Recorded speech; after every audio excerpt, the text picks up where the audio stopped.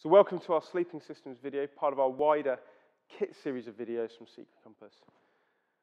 Now, when talking about any sort of kit and equipment, it's really subjective. Everyone's got their own uh, opinion. We're just trying to give you some basic level of knowledge for when you go out there and prepare for our expeditions. Firstly, we're just going to talk about sleeping bag liners. Sleeping bag liners can be really useful in places like the jungle where it's really warm or in some African bush environments. We've got two versions here. We've got a Coolmax liner, which is very, very thin material, stretchy, and is particularly comfortable sort of next to the skin. We've also got a cotton liner here as well, a little bit cheaper, a little bit easier to use. Both absolutely ideal.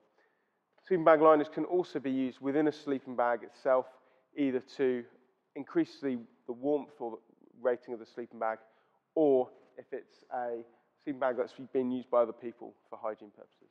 So moving on to sleeping bags. We've got two examples here. We've got a warm weather sleeping bag and also a, a cold weather sleeping bag.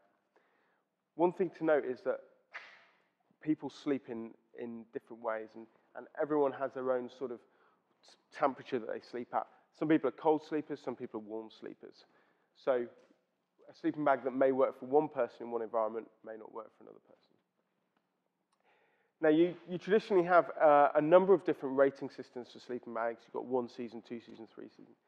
Um, we like to concentrate on what the manufacturers tend to use nowadays, which is a comfort transition and risk rating. This is shown really well here on this um, North Face bag. You've got the comfort down to minus four, a transition down to minus 10. So that means between minus four and minus 10 is a period where you may be slightly uncomfortable, and then you've got risk down to 20, minus 29. That basically means you will survive if you sleep between minus 10 and minus 29, but it may be a tad uncomfortable. So two main materials that sleeping bags are made out of is either down or synthetic material. The great advantage to down is that its warmth to weight ratio is fantastic.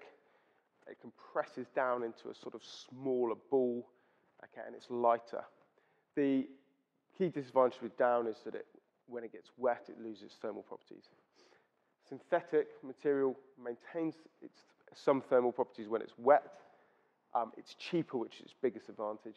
However, it can, it's slightly heavier, slightly bulkier, and doesn't offer quite as good thermal properties as down.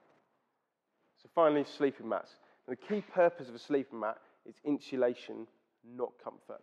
However, we've got two examples here from Thermarest which are particularly comfortable. The Neo Air, incredibly lightweight, um, provides a really good air insulating layer, uh, and packs down to a particularly small size, and a more traditional Thermarest option here. The other options that you can use are a traditional foam mat, which also provide great insulation, um, a lightweight, uh, and are considerably cheaper than the Thermarest. In parts of Africa or areas where you're likely to be camping under thorn scrub, um, Thermarest can puncture really very easily, and so a foam mat may be preferable.